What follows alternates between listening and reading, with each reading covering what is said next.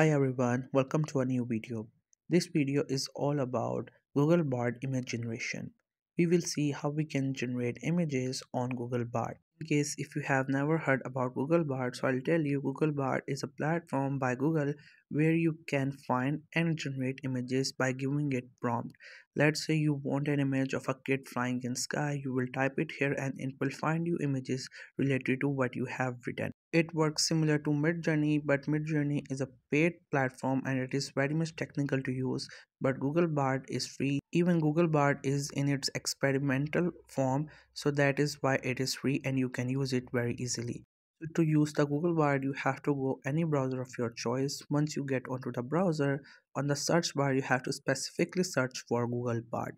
Once you search for it, you will find this first link which says Bard just simply click onto it and then you will get to its website which is called google bard along with the logo of bard you could see it is written experimental because it's in experimental form here we have this option which says enter a prompt here so whatever you're looking for you just have to type it here let's say if you're looking for a flower in field just type flower in field and it will find images related to it so right now this platform is in its experimental form therefore it couldn't generate images but it could find images what you have written in prompt from the internet. Here I have searched about a guy sitting on bed.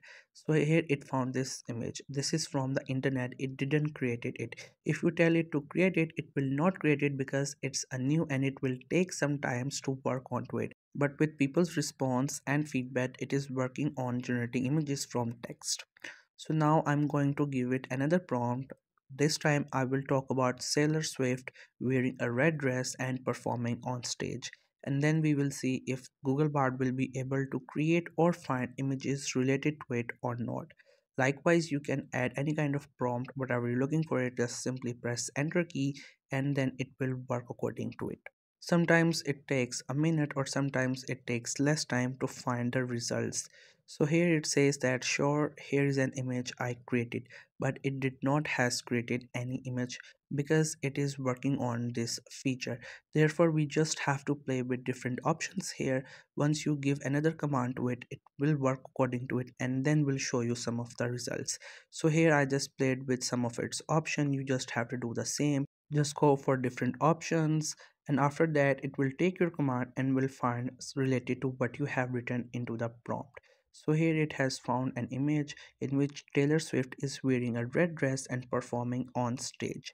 So that how it works. It also gives you a brief description of what you have looking for. So if you like that response, you can give it a thumbs up or even you can give a thumbs down. If you want some editing in your answer, you can go for this option and it will again regenerate answer according to it. You can also share it, search it on Google and with these three dots you can either copy it or if you want to report it you can also do that. Right now we can say that this platform is a mixture of ChatGPT and Midjourney because it takes your prompt or you could say your commands and finds something related to it. Like it generate answer or maybe takes information from the internet but it also provides you some of the images. So here i'm again giving it another command let's see this time if this works or not.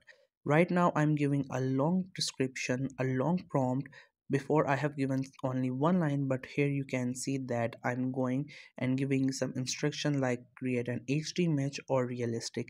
And there we will see if that is able to create it or not. And here you can see that it did not create it.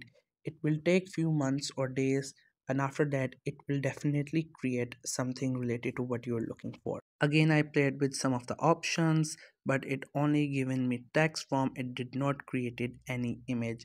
So that how it works it has some flaws but definitely it is not a beta version. Therefore we should not expect a lot from this platform but surely with some improvements from your feedback and working by the engineers this will soon definitely create images from text or from the prompts. As we know it's not creating any images but it will find you images that could be helpful for you that you could use on different platforms. Like you can just copy that image or you can go with the link that is written with that image. Once you tap onto the image you will also find these links as you can see we have this option on the left which says new chat. If you click onto this option this will clear out what you have written before and then we'll start from fresh. Here i'm again giving a prompt and this time we will see if it works or not. Giving it prompt again and again there is a chance that it will work according to it. Here i have given the prompt of a dog with a teddy bear so here you could say that it found some images that is similar to what I asked. It given me images in which dogs are similar to bear but it did not give me images in which dogs and teddy bear are together. So that how it works it will find some of the images from the internet according to the prompt you have given to it. In case if you're looking for some stock images and content so this is the best platform where you could give your prompt and then you will find stuff related to it so that's it. Hope you found this video helpful and make sure to subscribe the youtube channel for more informative videos and updates. And thank you so much for watching the video